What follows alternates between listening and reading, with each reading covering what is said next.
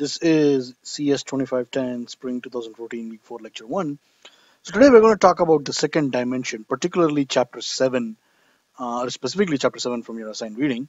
So the concepts today are we're going to talk about two-dimensional arrays, matrices, rows, columns, matrix operations. We already touched upon this quite a bit in lecture, but today we'll quote unquote officially touch upon it. Uh, then we'll look at how to visualize two-dimensional functions via contour plots and grid generation. The language features we're going to learn are zeros, ones, uh, rand. We actually learned about rand, so we should actually take this out. But contour and p-color. So let's get started. Let's start with a very simple example in MATLAB. I have MATLAB fired away, ready to go. So basically, if I do something like A is zeros of three rows, four columns, okay, and then you can see that's what I get. But let's say this is actually module 7.1.1 and the question asks you, suppose this is done, and if I say a of 5 comma 2 is 1, what will happen? Well, this won't give an error because you're not accessing the fifth row and the second column element. So what will happen is the, this matrix A will get extended with the zeros, except in the fifth row, it'll be a five row, uh, two column ma matrix. Mm, sorry, it'll be a five row, four column matrix but in the fifth row second column we'll have a 1 and there you go okay? So let's look at another example of in this case accessing elements of a matrix. So one, two, three, uh, let's define this matrix 4 5 3 a square matrix. Uh, 3 by 3 okay? And suppose I say for i is 1 2 3 and for j is to define two loops okay? I say a of i comma j. Notice this notation okay? So you always say ith row and jth column equals a of j comma i all right and and then before I hit enter like I keep telling you we should have an idea of what kind of result to expect. So let's look at this um, let's work on this so what I'm going to do is to go down here and then if you think about it right so i goes from 1 to 3 so let's just do it like this. So it's actually module whoops 7.1.2 so when i is 1 okay we know what a is. So a is going to be 1 2 3 4 5 6 7 8 9 right? So there's the matrix. And then this is m 7.1.2 i is 1 okay? So j is um, 1 so what I get is a of i comma j equals a of j comma i. I believe that's what we were looking at. Yep. a of i comma j. So let me write that down here. a of i comma j equals a of j comma i. So again, you just have to go through this step by step. So this is a of 1 comma 1 equals a of 1 comma 1. That's what happens here, right? So and then a of i is 1, j is 2 is a of 2 comma 1 and then j equals 3 a of 1 comma 3 equals a of 3 comma 1 so after every step our here the a obviously doesn't change. Oh boy. Looks like I crashed. Well let's see. Hopefully it didn't crash. Nope this did crash so let's try this again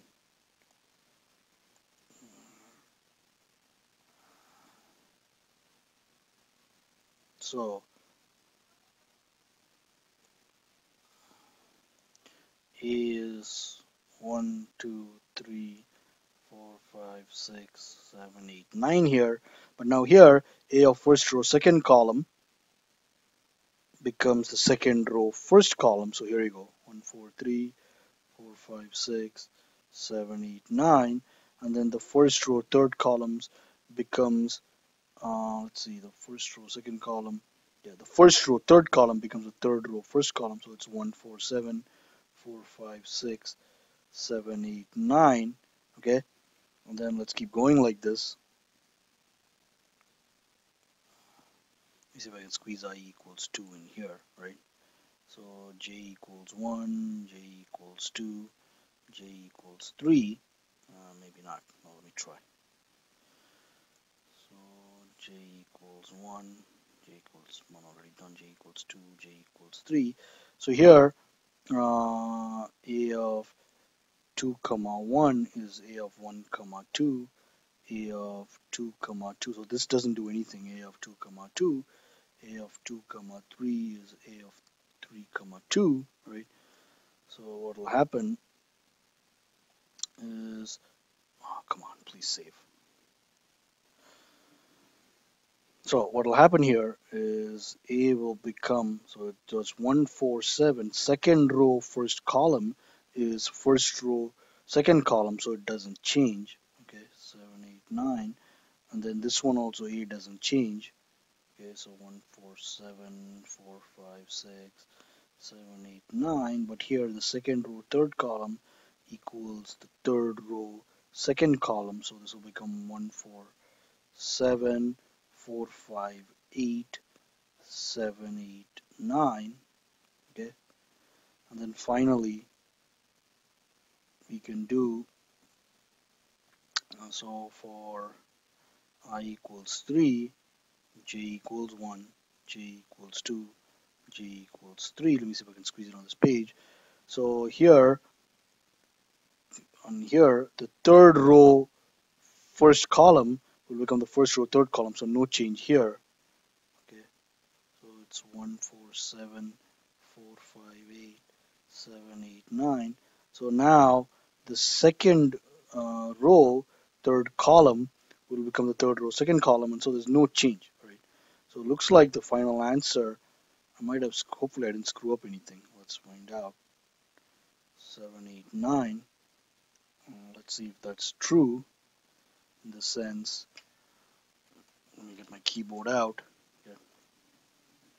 there keyboard's out Switch the mouse now let's look at what is One four. Whoops, that's my. Um, I don't think I need to do any more writing. So let me put my pen away, and then there is my tablet pen. Let's take a look at this. So I have one four seven four five eight seven eight nine. Perfect. That's the answer. So that's answer to module 712. But basically, the bottom line is you really have to just think about the definition of um, what like a matrix is, right? By the way, this you might be tempted to think this is the transpose, but then if you read if you redefine A, two, three, transpose is interchanging the rows and columns, six, seven, eight, nine, like that, and then if you this is how you transpose, okay? So which is obviously not the same thing. Um, that's about it for uh, examples of matrix manipulation in MATLAB. So let's now get into the crux of this, that is, uh, let's look at contours and uh, cross sections. So what we're going to do is we're is basically section 7.2 from your reading. So we're going to create a new function uh, that is going to, it's a temperature profile, right? So what we're going to get is a function, it's a temperature of a plate, right? So temp, it's called the name of the function is t plate, all right? It puts two arguments, uh, x and y okay so temperature profile of a metal plate I guess temperature me move the mouse away so my mouse doesn't keep moving temperature temperature profile of a metal plate okay so uh, and this temp is basically going to be 100 times. Note, I don't have to use the dot operator because I am getting a scalar one by one matrix, right? Negative 0.4 times um, x minus 1. I don't want the help, dude. X minus 1, the whole squared. Okay. Well, let's see. I got to read the book and check the parentheses. All right. So this is point x minus 1. So there's one source centered at 1 comma 3 okay y minus 3 the whole squared okay it's that and there's another source centered at 5 comma 1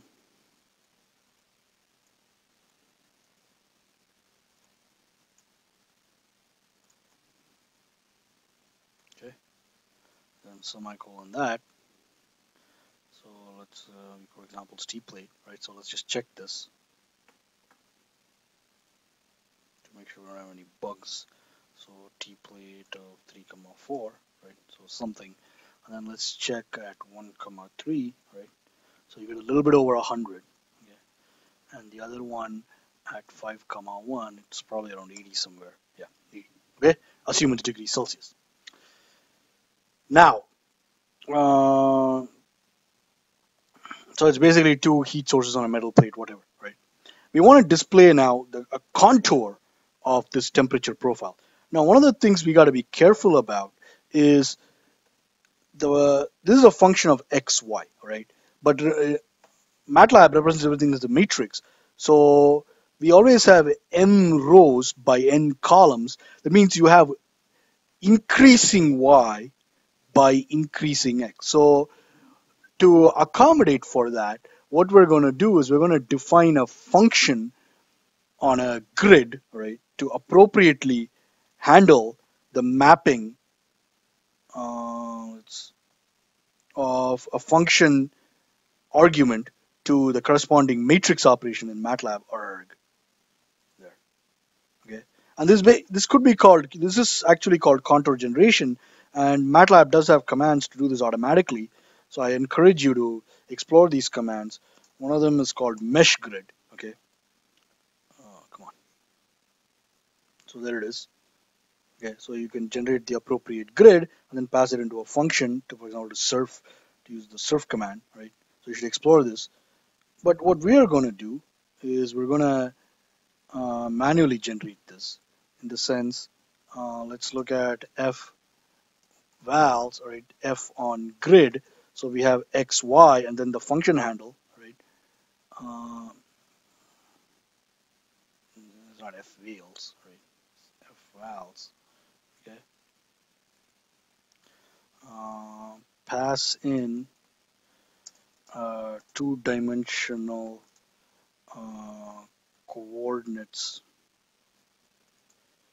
Pass in two-dimensional coordinates pass in uh, x comma y so these are row vectors okay and function handle f.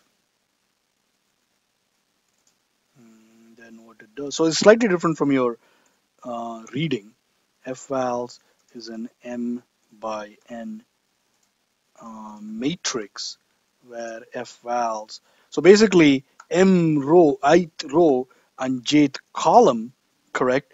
But if you're going by row you want to again access your uh, so f of x is the column so gotta be careful here. So it's so basically you want the jth column but index into f right uh, and then the ith row but index so basically you want the jth column but index into x not f. And you want the ith row but the index into y. Okay so that's all that's all it is. It's that simple. It's easier to write it out and understand it than explain it like let's talk about it. So let's just do, do this. So you have m rows and n columns. So m should be the length of y and n should be the length of x okay?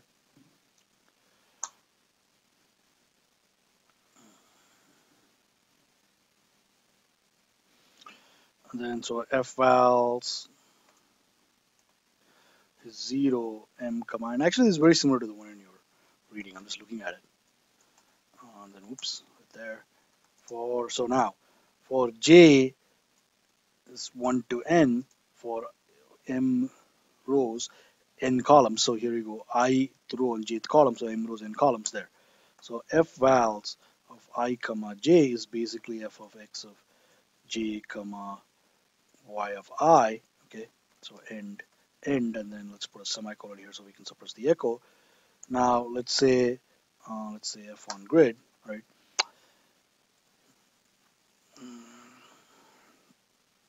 And then let's look at let's do a simple script this is definitely in your book so I'm just gonna just use the script right? File new script. So let's call this example 72.m so basically what we're going to do is we're going to make a contour plot and cross sections function variables. So generate x and y. Okay. So x is going to be linspace 0 comma 6 comma 301 points. Okay. Y is going to be linspace of uh, 0 comma 4 201 points. Okay. So this temperature vals is going to be f on grid of x comma y at t plate. So this is how you pass in a function handle. So let's do a contour of x comma y comma t vals. And then let me just uh, okay, let me just run the script. Hopefully there are no errors. Let's do example 7.2 and define function 0 okay so I know what mistake that is that's basically should be zeros that. Let's fix that bug. Hopefully there are no more bugs but if there are we'll fix them t-vals okay contour of oh what do I call it? T-vals okay case sensitive. So let's just do that. Let's try this again.